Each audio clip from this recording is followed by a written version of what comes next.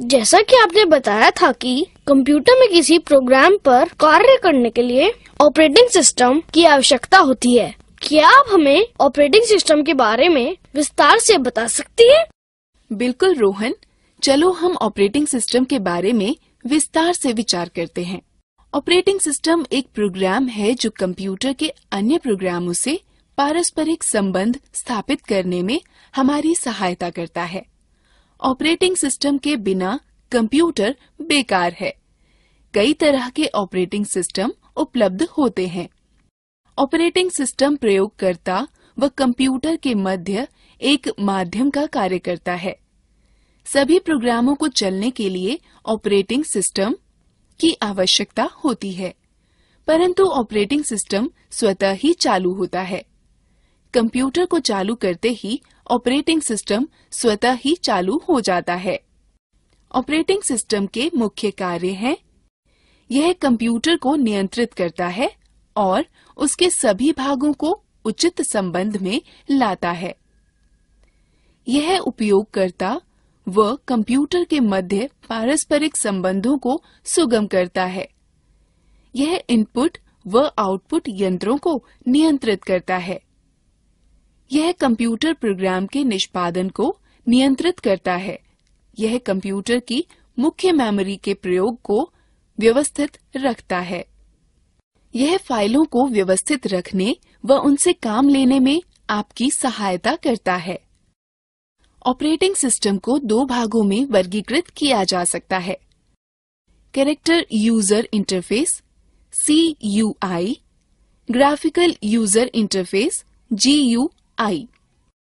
एक एक कर हम इनके बारे में विचार करते हैं। कैरेक्टर यूज़र इंटरफेस आई में किसी तरह के आइकॉन या चित्र नहीं होते हैं। यह केवल लेख व अक्षरों पर चलता है। हम आई पर लेखीय निर्देश, जैसे rename C L S C D M D और डी आई आर या डायरेक्टरी पर कमांड निर्देश देकर कार्य कर सकते हैं।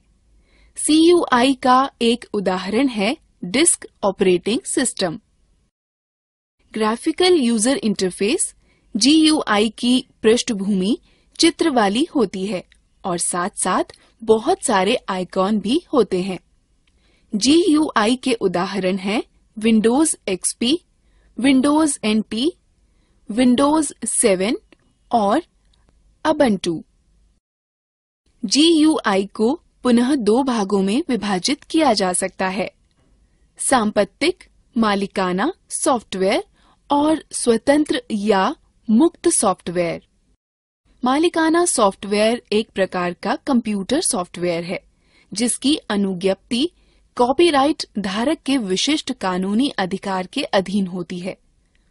मालिकाना सॉफ्टवेयर के उपयोग के लिए अनुज्ञप्ति की आवश्यकता होती है, जो उसकी फ़ीस देने या भुगतान करने के बाद ही प्राप्त होता है। इनका प्रयोग वैध अनुज्ञप्ति के बाद ही किया जा सकता है। उपयोगकर्ता इनको न तो परिवर्तित, न साझा कर सकता है, न ही पढ़ सकता है और न ही पुनर्वितरित कर सकता है। मालिकाना सॉफ्टवेयर के सामान्य उदाहरण हैं Microsoft Apple Inc, IBM, operating system व यूनिसिस स्वतंत्र या मुक्त सॉफ्टवेयर वे सॉफ्टवेयर हैं जिनको उपयोगकर्ता इंटरनेट से बिना किसी फ़ीस के डाउनलोड कर सकता है। यह एक खुले लाइसेंस स्रोत के तहत उपलब्ध होते हैं जो उपयोगकर्ता को सॉफ्टवेयर परिवर्तित करने साझा करने और पुनर्वितरित करने की आज़ादी देता है। यद्यपि परिवर्तन करने के लिए कॉपीराइट अधिकार नहीं दिए गए होते हैं। स्वतंत्र या मुक्त सॉफ्टवेयर के सामान्य उदाहरण हैं यूनिक्स लाइनक्स ओरोरा यूएक्स और हमें माइक्रोसॉफ्ट विंडोज़ के बारे में जानना चाहिए, जो कि सबसे ज़्यादा प्रचलित ऑपरेटिंग सिस्टम है। अरे हाँ मैंने माइक्रोसॉफ्ट विंडोज़ के बारे में बहुत सुना है। माइक्रोसॉफ्ट विंडोज़ माइक्रोसॉफ्ट द्वारा विकसित किए गए एवं बेचे गए ग्राफिकल इंटरफेस ऑपरेटिंग सिस्टम की श्रृंखला है। अधिकतर जिन कंप्यूटरों का हम प्रयोग करते हैं, उनमें माइक्रोसॉफ्ट विंडोज़ का ऑपरेटिंग सिस्टम पूर्व स्थापित होता है।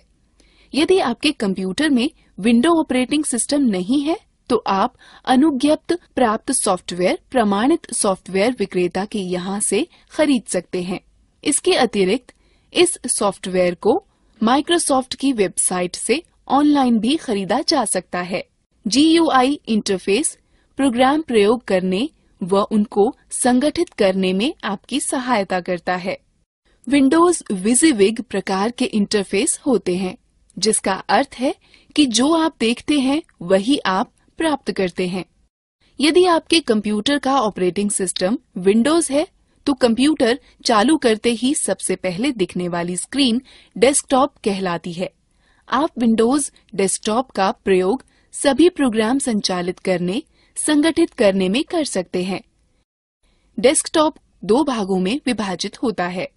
मुख्य भाग या विंडोज़ डेस्कटॉप तथा टास्क बार नीचे पतली पट्टी को टास्क बार कहते हैं। टास्क बार में स्टार्ट बटन होता है, जिसके ज़रिए हम कंप्यूटर के अन्य प्रोग्रामों तक पहुँच सकते हैं। टास्क बार की पृष्ठभूमि को वॉलपेपर कहते हैं। कंप्यूटर आरंभ करने पर सबसे पहले दिखने वाली स्क्रीन डेस्कटॉप कहलाती है। डेस्कटॉप पर दिखने वाली छोटे छोटे चित्र आइकॉन कहलाते हैं। यह आइकॉन फ़ाइल प्रोग्राम और फोल्डर के शॉर्टकट छोटे रास्ते हैं, जिनके ज़रिए इनमें आसानी से व जल्दी से पहुँचा जा सकता है। स्क्रीन के सबसे नीचे क्षितिज के समानांतर पट्टी को टास्क बार कहते हैं। टास्क बार पर एक और स्टार्ट बटन और दूसरी तरफ़ कई छोटे छोटे आइकॉन व शॉर्टकट होते हैं। कंप्यूटर पर चल रहे सभी उपयोजन व प्रोग्राम टास्क बार पर आइकॉन के रूप में दिखते हैं। कंप्यूटर पर चल रहे सभी एप्लीकेशन व प्रोग्राम इन्हीं आइकॉन के द्वारा एक्सेस उपयोग किए जा सकते हैं। टास्क बार कंप्यूटर पर चल रहे विभिन्न प्रोग्रामों में एक से दूसरे पर जाने का रास्ता उपलब्ध कराता है। यदि बहुत सारे एप्लीकेशन प्रोग्राम चल रहे हों और टास्क बार पर सभी आइकॉनों के लिए स्थान कम हो तो एक तरह के आइकॉन एक समूह में आ जाते हैं। स्टार्ट बटन के द्वारा आप अन्य प्रोग्रामों व सिस्टम की अन्य उपयोगिताओं का प्रयोग कर सकते हैं। स्टार्ट मेन्यू में मौजूद कंट्रोल पैनल का उपयोग कंप्यूटर में विभिन्न हार्डवेयर और सॉफ्टवेयर के विन्यासों या सेटिंग को बदलने के लिए किया जाता है। स्टार्ट मेन्यू के हेल्प और सपोर्ट मेन्यू का उपयोग विंडोज़ पर कार्य के दौरान आवश्यकता पड़ने पर सहायता प्राप्त करने के लिए किया जाता है। स्टार्ट मेन्यू की सहायता से आप मात्र एक क्लिक में कंप्यूटर को बंद कर सकते हैं, लॉग ऑफ़ या पुनः चालू कर सकते हैं। निम्न प्रक्रिया से आप अपने सिस्टम की तारीख व समय परिवर्तित कर सकते हैं। पहले, टास्क बार पर दाईं ओर दिख रहे तारीख व समय पर क्लिक करें। तब एक घड़ी व कैलेंडर प्रकट होगा। टास्क बार पर तारीख व समय पर क्लिक करें। तब समय व तारीख परिवर्तन लिंक पर क्लिक करें। तत्पश्चात समय व तारीख परिवर्तन बटन पर क्लिक करें। समय व तारीख निर्धारित करें। समय व तारीख परिवर्तन को सुरक्षित करने के लिए हाँ पर क्लिक करें और समय व तारीख डायलॉग कोष्ट पर वापस आएँ। परिवर्तन सुरक्षित करने के लिए हाँ पर क्लिक करें।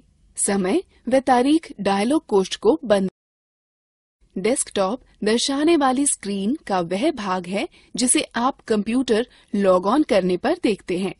आइकॉनों के पीछे दिखने वाले चित्र दृश्य को वॉलपेपर अथवा डेस्कटॉप की पृष्ठभूमि कहते हैं। जब आप अपने कंप्यूटर को कुछ समय के लिए निष्क्रिय छोड़ देते हैं तो एक चित्र अथवा लेख की चलचित्र की प्रदर्शित होती है। इसे स्क्रीन सेवर कहते हैं। डेस्कटॉप की पृष्ठभूमि परिवर्तित करना। आप अपने कंप्यूटर के वॉलपेपर अथवा डेस्कटॉप की पृष्ठभूमि आइकॉनों को अपनी इच्छा के चित्र और दृश्य से बदल सकते हैं। पहला डेस्कटॉप के खाली स्थान पर माउस का दायां राइट क्लिक बटन दबाएँ। तत्पश्चात सूची के वैयक्तिक विकल्प पर क्लिक करें। तत्पश्चात डेस्कटॉप की पृष्ठभूमि लिंक पर क्लिक करें। तत्पश्चात चित्र का चयन करें और उसे डेस्कटॉप की पृष्ठभूमि की नियत करें अंत में सेव या सुरक्षित बटन दबाकर परिवर्तनों को सुरक्षित करें स्क्रीन सेवर नियत करना यदि आप डेस्कटॉप की स्क्रीन सेवर परिवर्तित करना चाहते हैं तो यह प्रक्रिया अपनाएँ। पहला डेस्कटॉप के खाली स्थान पर उस माउस का दायां राइट क्लिक बटन दबाएँ। तत्पश्चात सूची के वैयक्तिक विकल्प पर क्लिक करें। तत्पश्चात डेस्कटॉप की स्क्रीन सेवर लिंक पर क्लिक करें। तब स्क्रीन सेवर का ड्रॉप डाउन मेन्यू पर क्लिक कर सूची से स्क्रीन सेवर चुनें। तत्पश्चात स्क्रीन सेवर चालू करने के लिए वेट कॉम्बो बॉक्स से प्रतीक्षा समय के मिनट निर्धारित करें। तत्पश्चात प्रीव्यू बटन पर क्लिक कर स्क्रीन सेवर देखें। तब निर्धारित बटन पर क्लिक कर स्क्रीन सेवर को निर्धारित करें। अंत में सेव या सुरक्षित बटन दबाकर परिवर्तनों को सुरक्षित करें।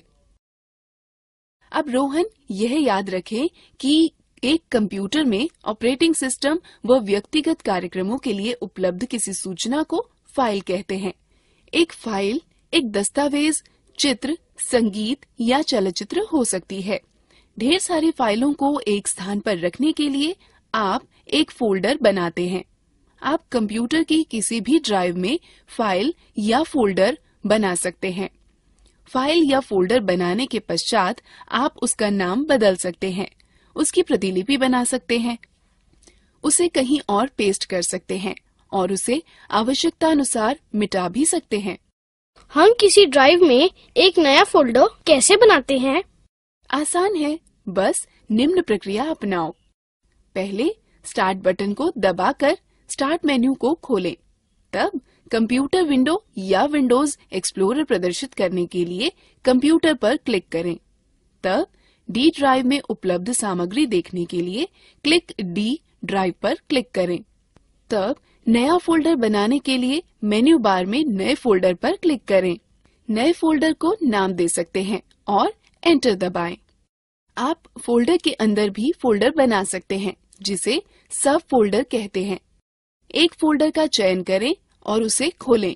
उसमें खाली स्थान पर राइट क्लिक करें तो पॉप अप मेन्यू प्रकट होगा। उसमें सबसे पहले नया पर क्लिक करें और फिर फोल्डर चुनें। एक फोल्डर सृजित हो जाएगा। फ़ाइल फोल्डर को खोलने के लिए निम्न का अनुसरण करें। पहले स्टार्ट बटन को दबा स्टार्ट मेन्यू को खोलें। तब कंप्यूटर विंडो या विंडोज़ एक्सप्लोरर प्रदर्शित करने के लिए कंप्यूटर पर क्लिक करें। तब डी ड्राइव में उपलब्ध सामग्री देखने के लिए डी ड्राइव पर क्लिक करें। तब जिस फोल्डर को आप खोलना चाहते हैं, उस पर डबल क्लिक करें। उसे फोल्डर के अंदर जिस सब फोल्डर या फ़ाइल को आप खोलना चाहते हैं, पर डबल क्लिक करें। फ़ाइल या फोल्डर को कैसे संरक्षित करें या नाम बदलें? जब आप डी ड्राइव में फोल्डर या सब फोल्डर या फ़ाइल बनाते हैं तो स्वचालित रूप से न्यू फोल्डर या न्यू टेक्स्ट डॉक्यूमेंट के नाम से संरक्षित हो जाता है। फोल्डर या सब फोल्डर या फ़ाइल का नाम बदलने के लिए उस पर राइट क्लिक करें। नए पॉपअप में नाम परिवर्तित करें रीनेम चुनें। नया नाम लिखें और एंटर दबाएँ। फोल्डर या सब फोल्डर या फ़ाइल का नाम परिवर्तित हो जाएगा। विंडोज़ ऑपरेटिंग सिस्टम में कुछ सहायक सामग्री होती है, जो अत्यंत उपयोगी होती है। हम इन उपयोगी सामग्रियों में से कुछ के विषय में सीखते हैं। इन उपयोगी सामग्रियों को देखने के लिए निम्न निर्देशों का पालन करें। पहले स्टार्ट बटन को दबाकर स्टार्ट मेन्यू को खोलें। तत्पश्चात माउस से ऑल प्रोग्राम पर चिन्हित करें। उसके बाद एक्सेसरीज पर क्लिक करें। यहाँ पर विभिन्न एक्सेसरीज की सूची होती है। संबंधित एक्सेसरीज पर क्लिक करें। पेंट का प्रयोग चित्रों को बनाने, परिवर्तित करने एवं फ़ोटो देखने के लिए होता है। आप पेंट का प्रयोग रिक्त पेंट क्षेत्र में चित्रकारी करने अथवा मौजूदा चित्र में चित्रकारी करने में कर सकते हैं। आप चित्र की प्रति लेकर किसी अन्य प्रलेख पर चिपका या पेस्ट कर सकते हैं। हम पेंट का प्रयोग किस प्रकार करें? पेंट का उपयोग करने के लिए सर्वप्रथम स्टार्ट बटन को दबा स्टार्ट मेन्यू को खोलें। तत्पश्चात माउस से ऑल प्रोग्राम पर चिन्हित करें। उसके बाद एक्सेसरीज पर क्लिक करें। यहाँ पर विभिन्न एक्सेसरीज की सूची होती है। एक्सेसरीज पर क्लिक करें और पेंट को चुनाव करें। तब पेंट विंडो दिखने लगेगा। आप देखेंगे कि पेंट विंडो चार भागों में विभाजित है। Paint button quick access toolbar drawing area एवं रिबन पेंट बटन के साथ आप कई तरह के कार्य कर सकते हैं। पेंट बटन के विभिन्न विकल्प हैं। खोलें ओपन नया न्यू संरक्षित करें सेव और छापें। Print quick access tool bar अक्सर प्रयोग में लाए जाने वाले उपकरण जैसे सेव रीडू और अंडू तुरंत उपलब्ध कराने में आपकी सहायता करता है। रिबन में दो टैब होती हैं, होम और व्यू होम टैब उन उपकरणों को उपलब्ध कराता है जो चित्र बनाने अथवा उसे सुधारने में प्रयुक्त होते हैं। यह क्लिपबोर्ड, ब्रश टूल शेप और कलर आदि होते हैं। क्लिपबोर्ड में तीन विकल्प होते हैं कट कॉपी व पेस्ट जिन विकल्पों का प्रयोग कर आप पेंट पर चुनी गई वस्तु को काट सकते हैं। प्रतिलिपि या प्रतिबिंब बना सकते हैं अथवा चिपका सकते हैं। यह विकल्प एक ही विषय को कई बार प्रयोग करने में आपकी सहायता करता है। प्रतिबिंब का चुनाव आपको उन विषयों को चुनने व संपादित करने में सहायता करता है जिनको आप चयनित करना चाहते हैं काट छाट करना चाहते हैं, आकृति में परिवर्तन करना चाहते हैं अथवा घुमाना चाहते हैं। उपकरण टूल का चयन आपको विभिन्न उपकरण उपलब्ध कराता है, जिससे आप आकृति बना व संपादित कर सकते हैं। यह उपकरण है पेंसिल, रंग भरना, लिखना, मिटाना, रंग उठाना और बड़ा करना। ब्रश में नीचे की ओर खुलने वाला एक मेन्यू होता है, जिससे आप चित्र बनाने के लिए विभिन्न प्रकार के ब्रशों का चयन कर सकते हैं। आकृतियाँ विकल्प से आप अपने चित्र को विभिन्न आकृतियाँ दे सकते हैं। रंग विकल्प से आप अपने चित्र में विभिन्न रंग भर सकते हैं। दीदी तुमने यह भी कहा था कि माइक्रोसॉफ्ट विंडो के विपरीत यहाँ मुफ़्त ऑपरेटिंग सिस्टम भी उपलब्ध है। क्या तुम इसके बारे में और ज़्यादा जानती हो? हाँ रोहन लाइनेक्स एक बहुत प्रसिद्ध मुक्त अथवा खुले स्रोत का ऑपरेटिंग सिस्टम है। यह सॉफ्टवेयर सबके लिए मुफ़्त है। और इंटरनेट से डाउनलोड भी किया जा सकता है। चलो, हम इस पर नज़र डालते हैं। लाइनेक्स यूनिक्स ऑपरेटिंग सिस्टम एक बहुत ही जाना माना वर्जन है, जो लाइनस टोरवाल्ड्स द्वारा विकसित किया गया है। लाइनेक्स माइक्रोसॉफ्ट विंडो जैसे दूसरे ऑपरेटिंग सिस्टम की तरह होता है। लाइनेक्स की सबसे खास बात यह है कि ये बहुत ही गतिशील है। उपयोगकर्ता इस सॉफ्टवेयर को विकसित करने, संशोधन करने अथवा प्रसारित करने के लिए स्वतंत्र हैं। लाइनेक्स को दो अलग तरीकों से प्राप्त किया जा सकता है। फ्री डाउनलोड अथवा वितरण का उपयोग कर। लाइनक्स दुनिया भर में करोड़ों उपयोगकर्ताओं द्वारा सफलतापूर्वक उपयोग किया जा रहा है। लाइनक्स के सभी आवश्यक भागों को इंटरनेट से बिल्कुल मुफ़्त डाउनलोड किया जा सकता है। लाइनक्स उपयोग करने का एक वैकल्पिक रास्ता है जो विभिन्न कंपनियों द्वारा पेश किया जा रहा है और जिसमें विविध प्रकार के एप्लीकेशन व इंस्टॉल करने वाले प्रोग्राम जुड़े हैं, जो लाइनेक्स के अधिष्ठापन को आसान कर देते हैं। एक बहुत प्रसिद्ध लाइनेक्स का वितरण करता होता है, जिसे अबंटू कहते हैं, जो कॉनिकल कंपनी द्वारा वितरित किया जाता है।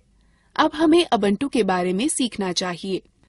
अबंटू एक स्वतंत्र, मुक्त सॉफ्टवेयर प्लेटफॉर्म है, जो स्मार्टफ़ोन, टैबलेट और कंप्यूटर के द्वारा हर जगह चलाया जाता है। अबंटू में एक ग्राफिकल यूज़र इंटरफेस या जीयूआई होता है, जो इसे विंडो अथवा एंड्रॉयड जैसे दूसरे प्रचलित ऑपरेटिंग की तरह बनाता है। अबंटू के वर्जन 12.10 डिफ़ॉल्ट डेस्कटॉप वातावरण के रूप में यूनिटी का उपयोग करता है। यूनिटी डेस्कटॉप पृष्ठभूमि और दो बार रखता है, जिसे मेन्यू बार और लॉन्चर कहते हैं। मेन्यू बार डेस्कटॉप के शीर्ष पर स्थित क्षैतिज पट्टी है। लॉन्चर एक खड़ी पट्टी है, जो मेन्यू बार के बाई तरफ़ होती है। मेन्यू बार में सामान्य कार्य शामिल होते हैं, जो अबंटू 12.10 में उपयोग होते हैं, जो आइकन्स मेन्यू बार के दाहिने तरफ़ होते हैं, उसे संकेतक क्षेत्र कहते हैं। कीबोर्ड सूचक आपके कीबोर्ड लेआउट चुनने और कीबोर्ड प्राथमिकताओं को बदलने की अनुमति देता है।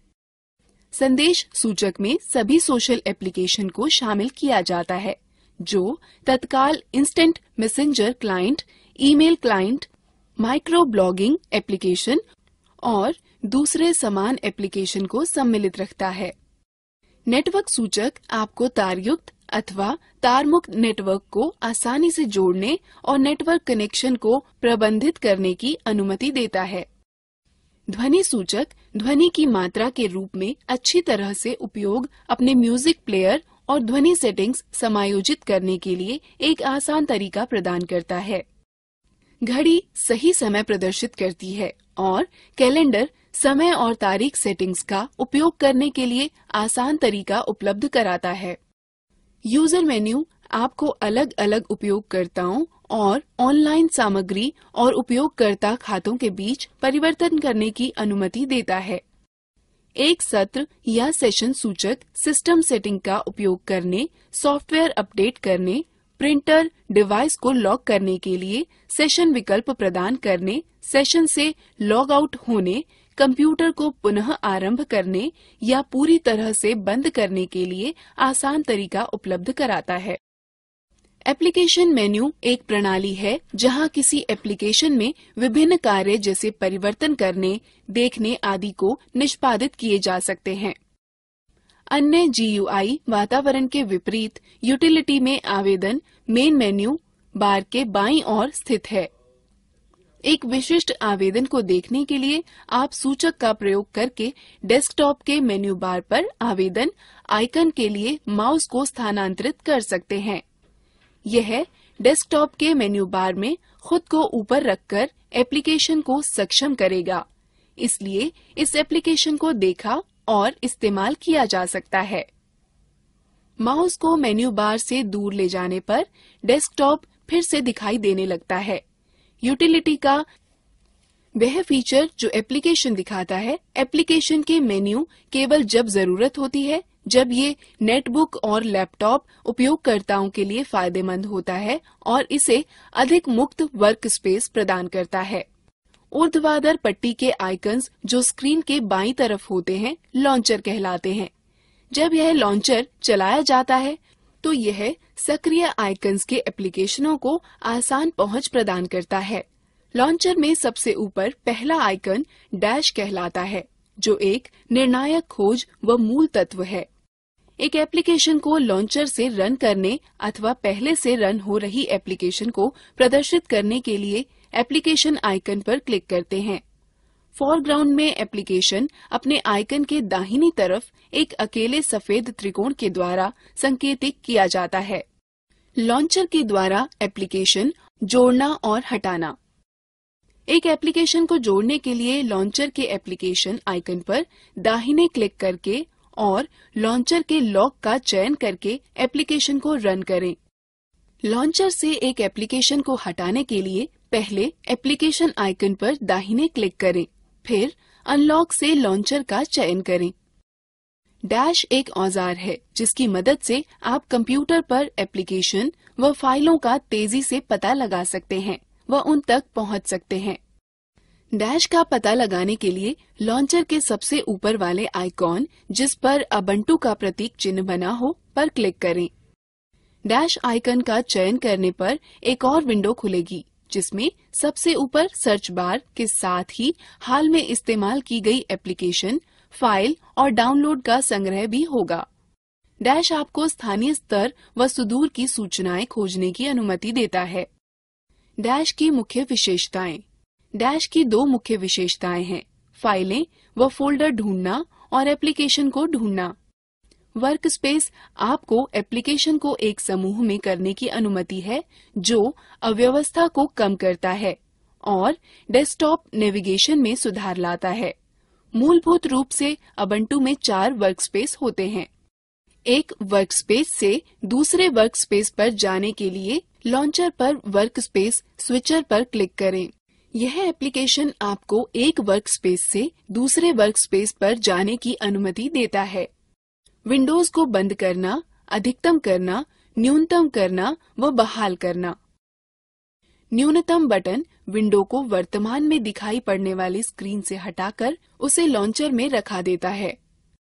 अधिकतम बटन एप्लीकेशन को विंडोज़ की पूरी स्क्रीन पर फैला देता है।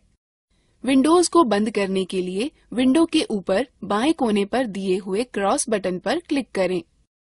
विंडो को वर्कस्पेस पर इधर उधर ले जाने या हटाने के लिए माउस के पॉइंट को विंडो के टाइटल बार पर ले जाएँ और माउस के बाएँ बटन से क्लिक करें तथा बाएँ बटन को दबाए रखते हुए विंडो को खींचें।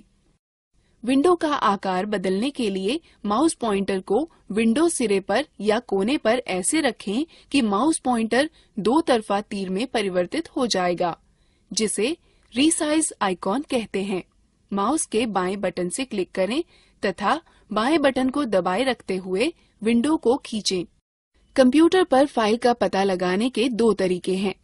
सीधे लॉन्चर के डैश के माध्यम से जिस फोल्डर में फ़ाइल रखी गई हो का पता लगाकर उस तक पहुँचना, या सामान्यतः उपयोग में लाए जाने वाले फोल्डरों व हाल में ही प्रयुक्त फाइलों में फ़ाइल व फोल्डर टूल का प्रयोग करना गो मेन्यू सामान्यतः प्रयोग में आने वाली फोल्डरों की सूची होती है गो में जाने के लिए अपने माउस को बार पर सबसे ऊपर ले जाएँ और गो को चुनें।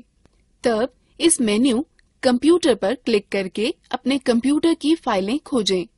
यदि आप होम नेटवर्क स्थापित करते हैं तो आपको साझा की गई फ़ाइल या फोल्डरों के लिए मेन्यू में आइटम मिल जाएगा।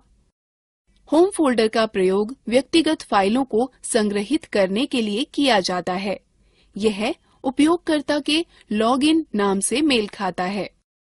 इसमें बहुत सारे वे फोल्डर होते हैं जो इंस्टॉलेशन के दौरान अपने आप बन जाते हैं। इसमें डेस्कटॉप दस्तावेज़ डाउनलोड म्यूज़िक संगीत, चित्र पब्लिक टेम्पलेट्स और वीडियो शामिल हैं। नॉटिलस फ़ाइल मैनेजर जैसे विंडो के पास फ़ाइल व फोल्डरों को खोजने के लिए विंडो एक्सप्लोरर होता है उसी प्रकार अबंटू फ़ाइल व फोल्डरों को खोजने के लिए डिफ़ॉल्ट रूप से नोटिलस फ़ाइल मैनेजर का प्रयोग करता है। दीदी नोटिलस फ़ाइल मैनेजर कहाँ है? Nautilus file manager window desktop पर एक फोल्डर पर डबल क्लिक करो नोटिलस फ़ाइल मैनेजर विंडो खुल जाएगी। डिफ़ॉल्ट विंडो में निम्न विशेषताएँ होती हैं। Menu bar title bar tool bar बाया पैन व दाया पैन। नोटिलस नेविगेट करने के निम्न पद हैं। फोल्डरों के बीच नेविगेट करने के लिए नोटिलस फ़ाइल मैनेजर के बाएँ पैन में पुस्तक चिन्हों का प्रयोग करें। वापस जाने के लिए पाथ बार में फोल्डर के नाम पर क्लिक करें। एक दिखने वाले फोल्डर पर डबल क्लिक आपकी उसे नेविगेट करने में सहायता करेगा। नोटिलस के साथ फ़ाइल को खोलने के लिए उसके आइकन पर डबल क्लिक करें अथवा आइकन पर दायां क्लिक करें और ओपन विथ के विकल्पों में एक को चुनें। नोटिलस में एक नया फोल्डर बनाने व सेव करने के लिए पहले फ़ाइल पर क्लिक करें और फिर क्रिएट न्यू फोल्डर पर क्लिक करें। उसके बाद बनने वाले डिफ़ॉल्ट फोल्डर का नाम, अनटाइटल्ड फोल्डर को इच्छानुसार नाम दें। यह नोटिलस में सुरक्षित हो जाएगा। फ़ाइल या फोल्डर को कॉपी करने या प्रतिलिपि बनाने के स्टेप्स हैं। पहले एडिट पर क्लिक करें फिर आइटम पर क्लिक करें अथवा राइट क्लिक करें और पॉपअप मेन्यू से कॉपी चुनें। अब आप कॉपी की गई फ़ाइल को इच्छित स्थान पर पेस्ट करें। कई नोटिलस विंडोज़ का प्रयोग करना। आप निम्न प्रकार से कई नोटिलस विंडो भी खोल सकते हैं। पहले फ़ाइल बनाएँ, तब न्यू विंडो पर क्लिक करें।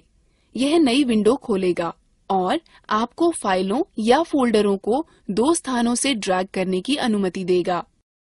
नया टैब खोलने के लिए पहले फ़ाइल पर क्लिक करें, फिर न्यू टैब। फ़ाइल की ब्राउजिंग के लिए प्रयोग किए जाने वाले स्थान के ऊपर दो टैब युक्त एक नई पंक्ति खुलेगी। दूसरा पैन खोलने के लिए व्यू पर क्लिक करें, फिर एक्स्ट्रा पैन पर। यह आपको टैब या विंडो के मध्य स्विच किए बिना ही दो स्थानों पर एक साथ देखने की सुविधा देता है। आप नोटिलस या डैश का प्रयोग कर फ़ाइल या फोल्डर को खोज सकते हैं। पहले नोटिलस में गो सर्च फॉर फ़ाइल पर क्लिक करें या कंट्रोल के साथ F दबाएँ। फिर जो खोजना चाहते हो उसे टाइप करें। डैश में सबसे ऊपर सर्च बार में आप केवल खोज का टर्म टाइप करें। अबंटो में लिब्रे ऑफ़िस सबसे अधिक लोकप्रिय सुइट है, जो डिफ़ॉल्ट रूप से स्थापित होता है। यह भी वैसी ही कार्यप्रणाली उपलब्ध कराता है, जैसे कि Microsoft Word Excel PowerPoint सिर्फ़ इसके कि यह एक मुक्त स्वतंत्र सॉफ्टवेयर है। इन सभी एप्लीकेशनों तक लॉन्चर के द्वारा पहुँचा जा सकता है। इसमें निम्न घटक शामिल हैं, जो दूसरे ऑपरेटिंग सिस्टम में अलग अलग नामों से पाए जाते हैं। Writer word processor calc spreadsheet impress presentation draw drawing sheet base database math equation editor. क्या मुक्त स्वतंत्र सॉफ्टवेयर के विषय में सीखना मज़ेदार नहीं था? चलो अब हम लोग मज़ेदार गतिविधि में भाग लेंगे। दीदी क्या मोबाइल फ़ोन व टैबलेट भी कंप्यूटर की तरह ऑपरेटिंग सिस्टम रखते हैं। हाँ रोहन, आजकल मोबाइल फ़ोन व टैबलेट भी पर्सनल कंप्यूटर के ऑपरेटिंग सिस्टम की खूबियाँ रखते हैं। साथ ही साथ अन्य खूबियाँ जैसे touch screen, cellular, Bluetooth, wifi, GPS mobile, navigation camera, video camera, speech recognition, आवाज़ रिकॉर्डर, म्यूज़िक प्लेयर व अन्य विशेषताएँ। अधिकांश मोबाइल फोनों में एंड्रॉयड विंडोज़ अथवा सिम्बियन ऑपरेटिंग सिस्टम होता है। ओ, मैं मोबाइल फोनों के विषय में और बहुत कुछ जानना चाहता हूँ। क्या आप मुझे सिखा सकती हैं? हाँ बिल्कुल। चलो यहाँ से शुरू करते हैं कि एक मोबाइल फ़ोन में विभिन्न सुविधाओं का प्रयोग कैसे करते हैं। सबसे पहले यह सीखते हैं कि मोबाइल फ़ोन से कॉल कैसे करते हैं। कॉल करने के लिए कीपैड पर फ़ोन नंबर टाइप करें। यदि आपके पास स्मार्टफ़ोन है तो होम स्क्रीन पर फ़ोन आइकन पर जाएँ और उस पर टैप दें। आप स्क्रीन पर नंबर पैड देखेंगे। जिस नंबर पर आप बात करना चाहते हैं, उसे टाइप करें। उसके बाद बाईं तरफ़ हरा बटन अथवा उत्तर बटन दबाएँ। स्मार्टफ़ोन होने पर हरे बटन पर टैप दें। स्क्रीन दर्शाएगी कि नंबर डायल हो रहा है, कि कनेक्ट हो रहा है। इस तरह आप कॉल कर सकते हैं कॉल समाप्त करने के लिए लाल बटन दबाएँ अथवा लाल बटन पर टैप दें अब हम सीखते हैं कि कॉल का उत्तर कैसे दें अथवा निरस्त कैसे करें जब आपके फ़ोन की घंटी बजे तो उत्तर देने के लिए हरा बटन दबाएँ। स्मार्टफ़ोन होने पर बाएँ से दाएँ स्वाइप करें कॉल निरस्त करने के लिए लाल बटन दबाएँ। स्मार्टफ़ोन होने पर दाएँ से बाएँ स्वाइप करें। हम पिछले मिलाए गए नंबर पर कॉल कैसे कर सकते हैं? आसान है। पहले होम स्क्रीन पर बाईं तरफ़ के हरे बटन को दबाएँ। यह सभी डायल किए गए प्राप्त किए गए व छूटे नंबरों की सूची दिखाएगा। स्मार्टफ़ोन होने पर फ़ोन आइकन पर टैप दें। यह सभी डायल किए गए प्राप्त किए गए व छूटे नंबरों की सूची दिखाएगा।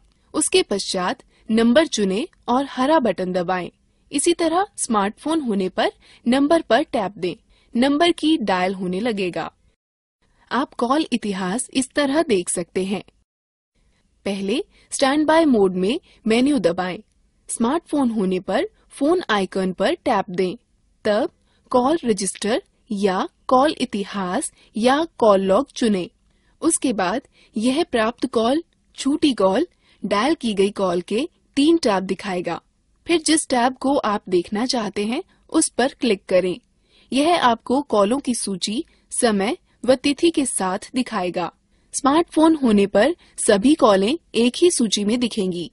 हरा तीर प्राप्त कॉलें, नीला तीर डायल की गई कॉलें व लाल तीर छूटी कॉलें दर्शाता है। आप नंबर पर कॉल कर सकते हैं। नंबर को संपर्क बुक में सुरक्षित कर सकते हैं या उस पर संदेश भेज सकते हैं। फ़ोन में ध्वनि का स्तर को निम्न रूप से अनुकूल करते हैं सबसे पहले फ़ोन की मुख्य स्क्रीन में मेन्यू बटन दबाएँ, फिर विकल्प मेन्यू में सेटिंग पर क्लिक करें उसके बाद सेटिंग मेन्यू में साउंड या ऑडियो विकल्प चुनें।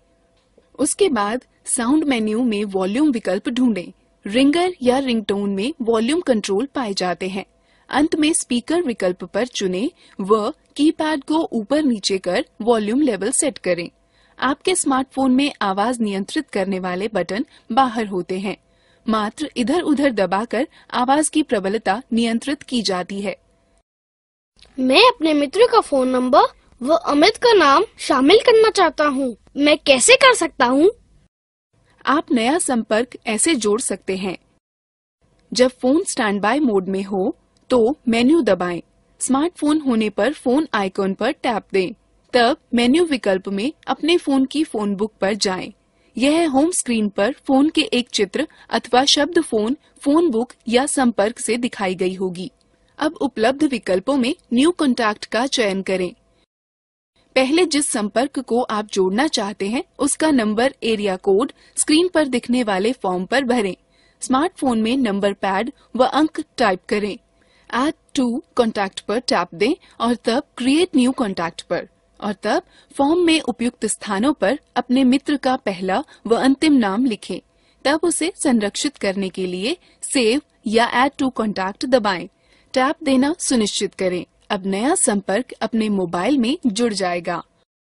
फ़ोन में पहले से ही संरक्षित संपर्क के विवरण में एडिट करने के लिए संपर्क का नाम चुनें। एडिट का चयन करें। टैप दें। सही विवरण टाइप करें और फिर सेव का चयन करें। टैप दें। अब मैं आपको सिखाती हूँ कि संदेश कैसे भेजते हैं। पहले स्टैंड बाय मोड में मेन्यू दबाएँ, तब संदेश सेवा फिर लिखित संदेश फिर संदेश बनाए का चयन करें। एक स्मार्टफ़ोन में होम स्क्रीन पर मैसेजिंग आइकन ढूंढें, उस पर टैप दें।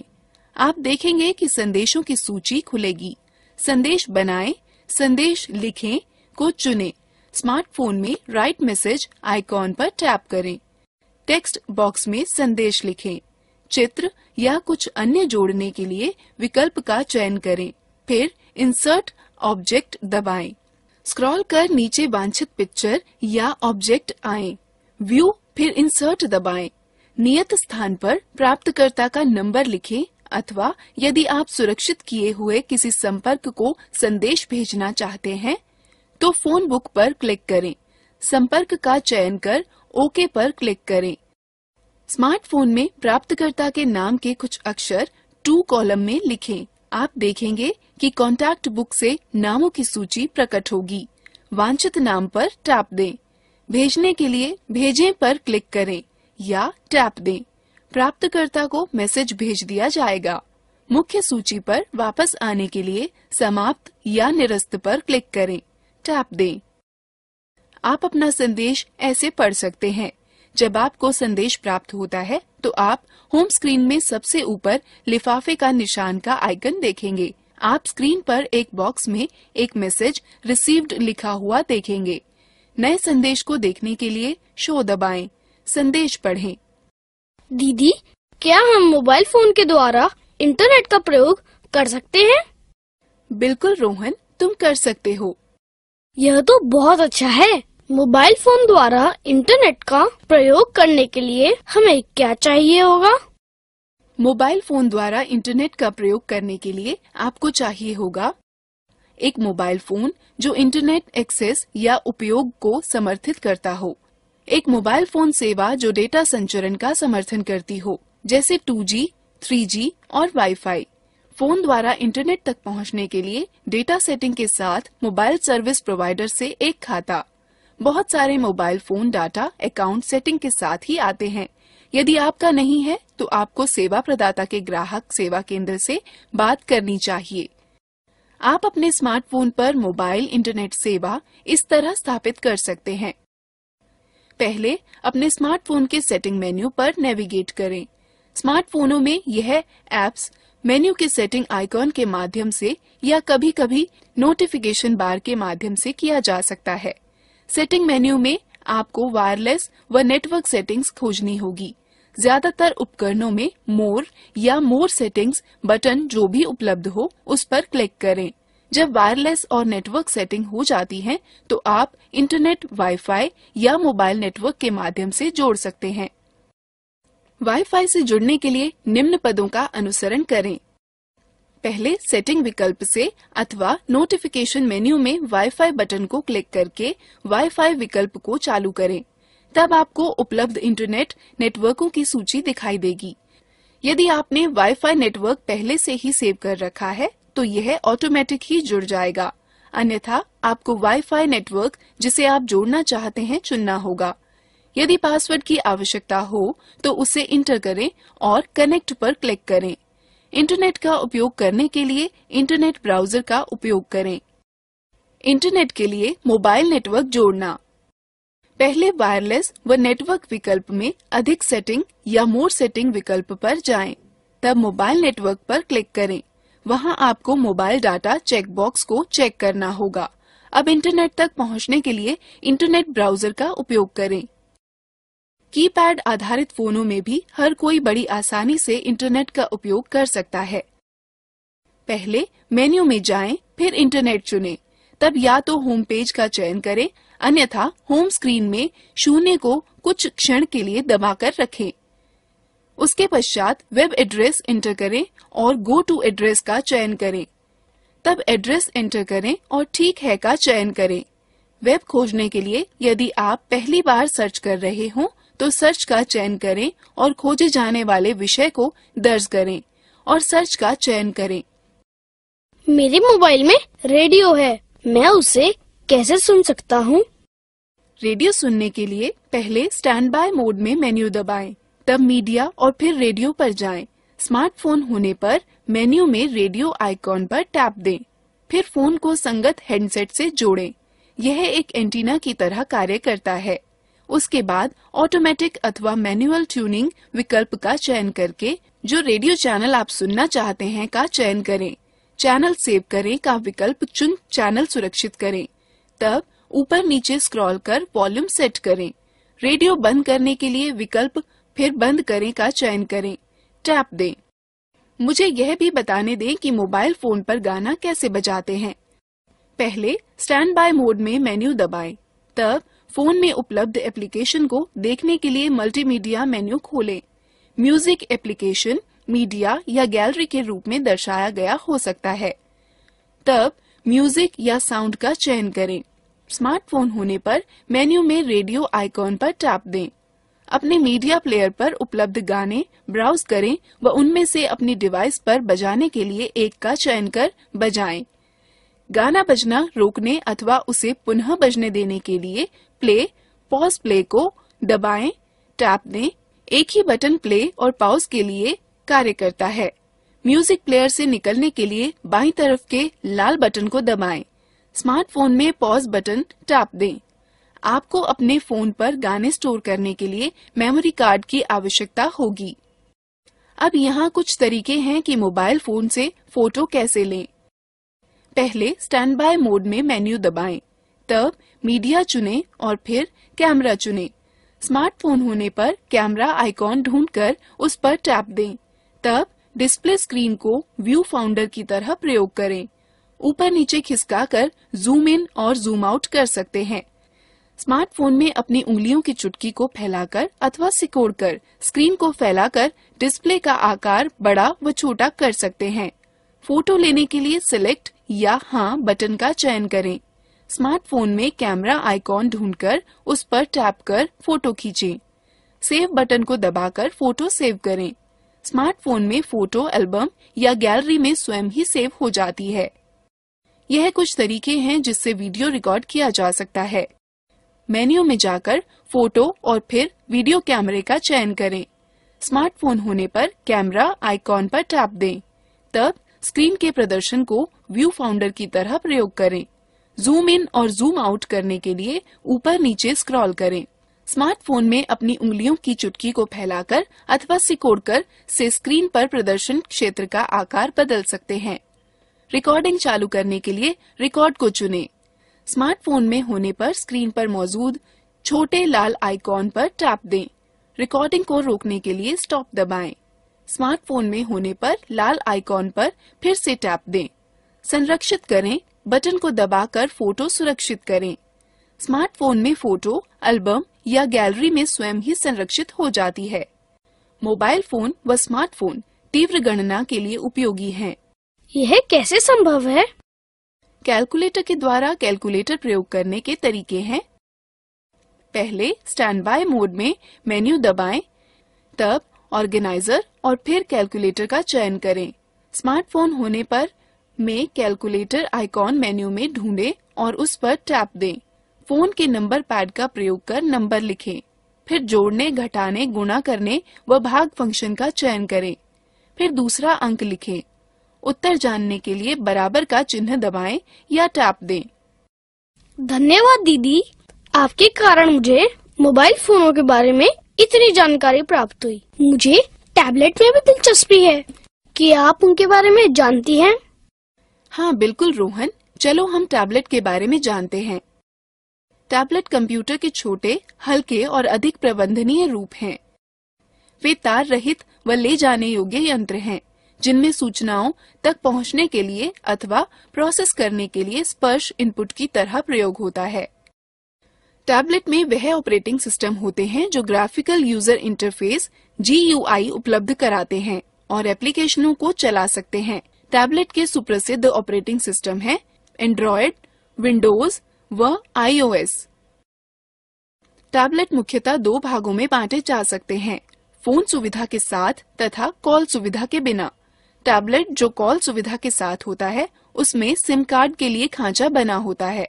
आपको कॉल करने के लिए, प्राप्त करने के लिए, तथा संदेश भेजने व प्राप्त करने के लिए एक सिम कार्ड तथा किसी मोबाइल नेटवर्क का कनेक्शन की आवश्यकता होगी।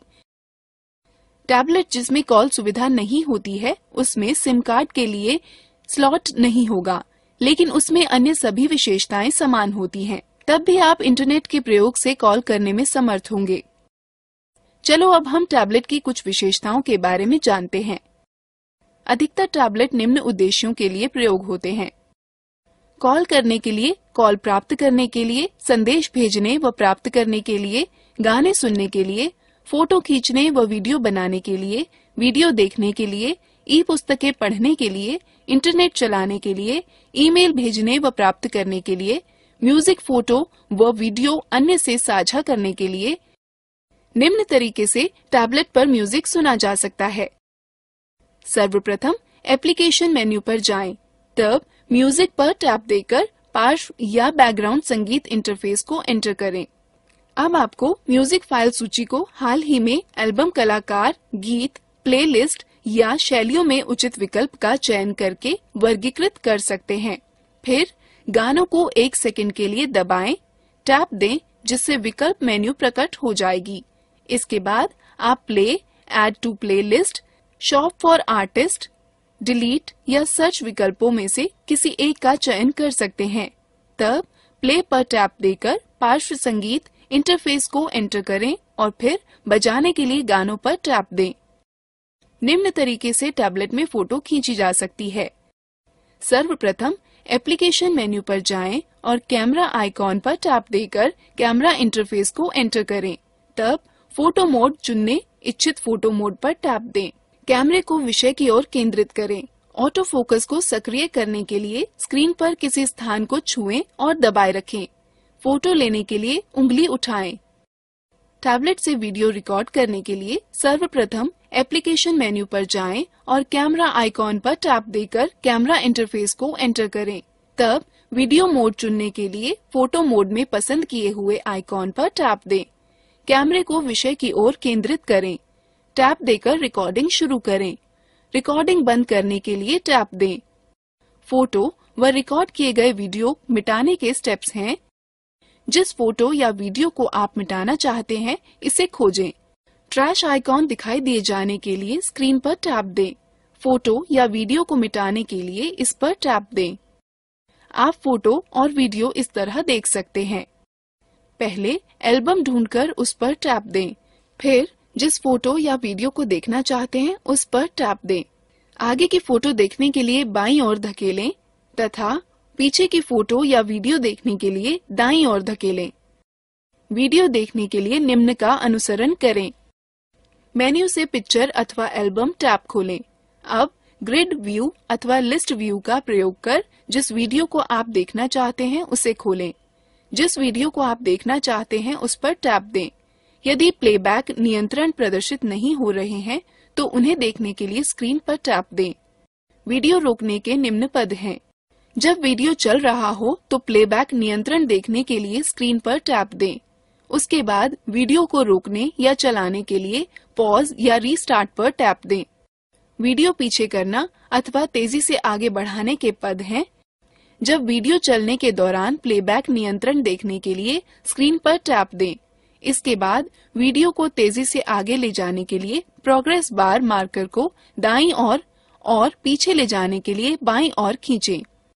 टैबलेट में ई बुक पढ़ने के लिए पहले टैबलेट में इंस्टॉल किए हुए डिफ़ॉल्ट बुक रीडर पर जाएँ। फिर बुक रीडर आइकॉन पर टैप दें उसके बाद पूर्व स्थापित किताबों में से जो किताब पढ़नी हो उसका चयन करें फिर किताब पढ़ना प्रारंभ करने के लिए बुक्स आइकॉन पर टैप दें। मैंने सुना है कि आप टैबलेट से ईमेल भेज व प्राप्त कर सकते हैं। हाँ रोहन टैबलेट पर इंस्टॉल किए हुए विशिष्ट एप्लीकेशनों का प्रयोग करके लगभग सभी पॉपअप या आईएमएपी ईमेल पतों का उपयोग ईमेल भेजने व प्राप्त करने के लिए कर सकते हैं। चलिए हम आपको टैबलेट में ईमेल लिखने के तरीकों के बारे में बताते हैं। मेन्यू में इंटरनेट ब्राउज़र आइकॉन पर क्लिक करें। फिर ईमेल आइकॉन पर क्लिक करें। एक विंडो खुलेगी जिसके शीर्ष पर एक क्षैतिज बार होगा।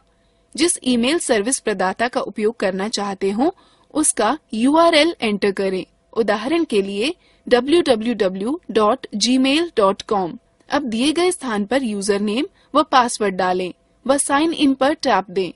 यहाँ इस पृष्ठ पर कंपोज या राइट न्यू पर टैप दें। नई विंडो में सेवा में, के क्षेत्र में प्राप्तकर्ता का ईमेल आईडी एंटर करें। विषय, के क्षेत्र में विषय एंटर करें। बीच के खाली स्थान में संदेश एंटर करें। तत्पश्चात सेंड आइकॉन पर टैप दें। प्राप्त ईमेल को पढ़ने के लिए पहले जब आपको कोई ईमेल प्राप्त होगी तो स्क्रीन पर सबसे ऊपर एक लिफाफा बनकर आएगा। आइकॉन को देखने के लिए स्क्रीन को नीचे खिसकाएँ। यथाक्रम मेन्यू में ईमेल भेजने वाले के आइकन पर जाएँ।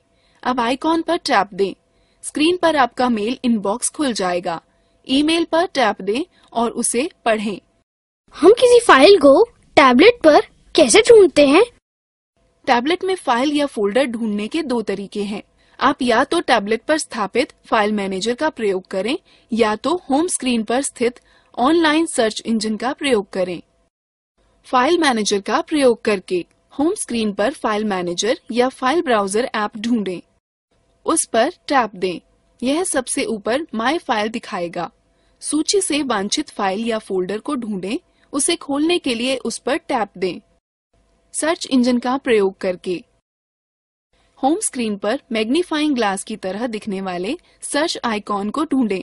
उस पर टैप दें, जिससे एक नई विंडो प्रकट होगी। आप देखेंगे कि उस पर एक क्षैतिज टैब में सर्च लिखा होगा। उसमें जो सूचना आप ढूंढना चाहते हैं उसके पहचान शब्द लिखें। ऑनलाइन सर्च का परिणाम स्क्रीन पर आ जाएगा। इसको खोलने के लिए वांछित पर टैप दें। हम टैबलेट से संदेश कैसे भेज सकते हैं? टैबलेट से संदेश भेजने के लिए निम्न पदों का अनुसरण करें। होम स्क्रीन पर मैसेजिंग आइकॉन ढूंढें अथवा मेन्यू आइकॉन पर टैप दें। सभी एप्लीकेशनों में मैसेजिंग आइकॉन ढूंढें। मैसेजिंग आइकॉन पर टैप देने पर आप प्राप्त संदेशों की सूची देखेंगे। राइट न्यू आइकॉन खोजें जो कि स्क्रीन पर एक लिफाफे के साथ, जमा के चिन्ह अथवा पेंसिल के साथ, जमा के चिन्ह द्वारा प्रदर्शित किया गया होगा। उस पर टैप दें। टू कॉलम में प्राप्तकर्ता के नाम के कुछ शब्द लिखें। आप कॉन्टैक्ट बुक से कुछ नामों की सूची देखेंगे। वांछित नाम पर टैप दें। वह नाम टू कॉलम में छप जाएगा। राइट मैसेज पर टैप दें और अपना संदेश लिखना प्राप्त करें।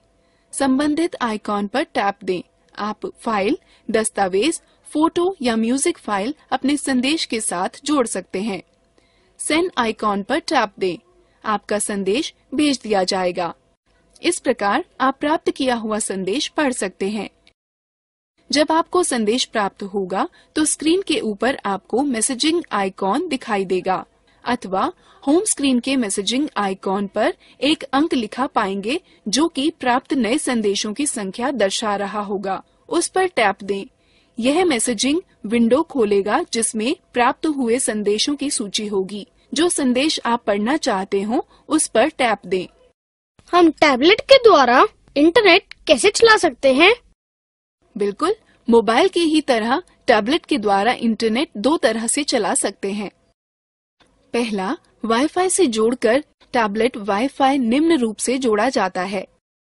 पहला, आप अपने टैबलेट के सेटिंग मेन्यू में जाएँ। वाईफाई का विन्यास या कॉन्फ़िगरेशन चित्र में दिया है। आपको उपलब्ध इंटर नेटवर्कों की सूची दिखाई देगी। आपको वाईफाई नेटवर्क चुनना होगा जिससे आप जुड़ना चाहते हैं। यदि पासवर्ड की आवश्यकता हो तो पासवर्ड डालें और कनेक्ट पर क्लिक करें। इंटरनेट ब्राउज़र का प्रयोग कर इंटरनेट चलाएँ। आप टैबलेट को मोबाइल नेटवर्क के द्वारा भी इंटरनेट से जोड़ सकते हैं। इसका तरीका यह है। पहले, यह सुनिश्चित करें कि आपके टैबलेट में मोबाइल नेटवर्क वाला सिम कार्ड है। तब टैबलेट के द्वारा इंटरनेट से जोड़ें। आप नोटिफिकेशन बार को नीचे खींच सकते हैं। और मोबाइल डाटा विकल्प का चयन कर सकते हैं, या आप वायरलेस नेटवर्क विकल्प में मोर सेटिंग्स में जा सकते हैं। तब मोबाइल नेटवर्क बटन पर क्लिक करें, जहाँ आपको मोबाइल डाटा चेक बॉक्स को चेक करना होगा। एक बार क्लिक किए जाने के पश्चात आपका टैबलेट मोबाइल नेटवर्क प्राप्त करना शुरू कर देगा। इंटरनेट चलाने के लिए इंटरनेट ब्राउज़र का प्रयोग करें। दीदी आपने कहा था कि कुछ टैबलेट फ़ोन की तरह भी प्रयोग किए जा सकते हैं। हम यह कैसे कर सकते हैं? जब आपका टैबलेट बंद हो तो आपको उसके सिम कार्ड स्लॉट में वैध जीएसएम सिम कार्ड डालना होगा। चलो हम देखते हैं कि टैबलेट से फ़ोन कॉल कैसे कर सकते हैं। होम स्क्रीन पर रिसीवर आइकॉन पर टैप दें। आप जो फ़ोन करना चाहते हैं, उसके नंबरों को दबाएँ। रिसीवर आइकॉन पर टैप दें। उसके बाद जब वह जुड़ जाएगा तो आप बात कर सकते हैं। यदि आप संपर्क पुस्तिका अथवा संपर्क सूची से किसी को फ़ोन करना चाहते हैं तो निम्न पदों का अनुसरण करें।